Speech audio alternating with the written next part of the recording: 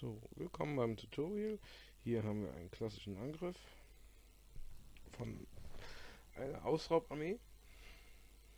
Eine Ausraubarmee unterscheidet sich natürlich von erheblichen anderen Brechern. Eine Ausraubarmee kämpft so lange, bis sie etwas ausgeraubt hat. Da habt ihr oben rechts in eurem Spielbildschirm eine Zeit, die abläuft. Die kann je nachdem, wie weit das Gewölbe vom jeweiligen Spieler geskillt ist, umso länger dauern. So, hier haben wir natürlich eine klassische Aufstellung. Ja, die Piken hat er unten rechts, zentriert auf die Mitte des Spielers, so dass sie bis zum Burgfried durchschießen können. Das äh, machen wir so, weil es eine erhebliche Konzentration auf die Türme gibt, vor allem auf die vordersten Türme und somit nicht alle kreuz und quer schießen und es ewig dauert, bis was durch ist sondern sich die Katapulte so ausgerichtet auf ein Zentrum konzentrieren und darauf schießen. Was bedeutet, dass die Türme und Mauern in diesem Fall schneller weg sind. Hier haben wir eine klassische Rapax, was man daran sieht, dass er auch diese Wassergräben gezogen hat und natürlich Türme. Die Wassergräbe hindern unseren Vormarsch an Piken.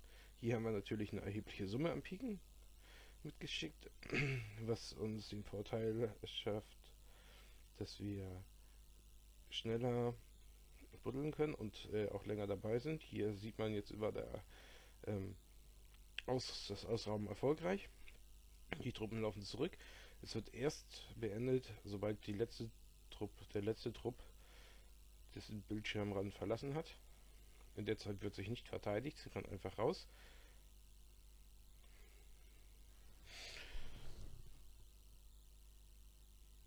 hier sieht man natürlich auch jetzt, wie es schon aufgeschossen worden ist, ein kleines V, so wie sich, so wie es sich gehört.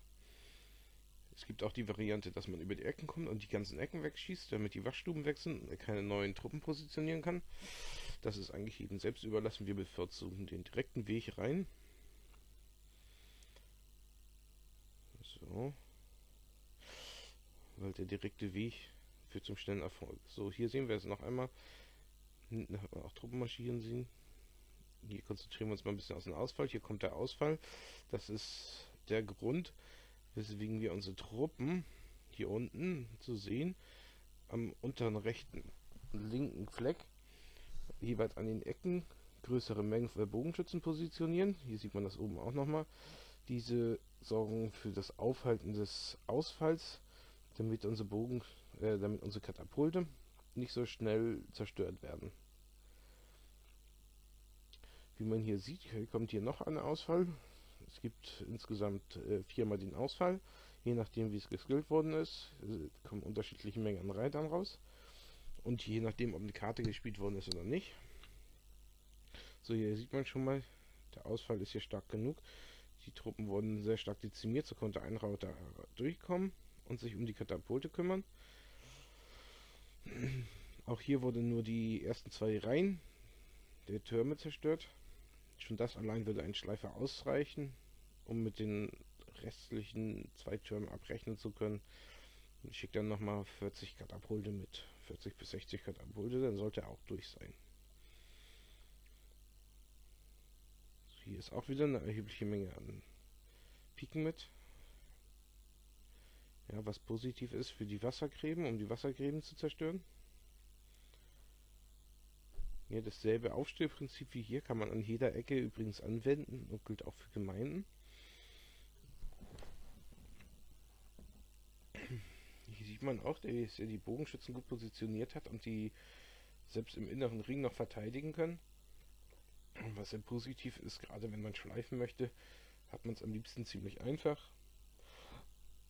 Hier hat er auch den Burgfried vollgestellt. Das heißt, wenn man durch ist, müsste man noch den Bergfried clean. Das heißt, entweder man schickt genügend Piken mit, das ist, wird ein längerer Kampf, oder man schickt noch äh, ein paar Hauptmänner mit, wenn man die Taktiken erforscht hat, und kann mit Pfeilhagel dort clearen. So, hier haben wir jetzt noch einen Bericht. Der fängt hier ein bisschen anders an, weil wir hier unten nämlich den Ausfall, äh, den, das Bauernloch haben was ich euch noch nicht ganz gezeigt habe. Das Bauernloch greift ja von hinten die Katapulte an, deswegen wir hier ähm, Bogenschützen positioniert hatten, hinten beim Ausfall, die jetzt äh, erst vorlaufen, nachdem hinten die, Bo äh, die Bogi sich erst um das Bauernloch gekümmert haben.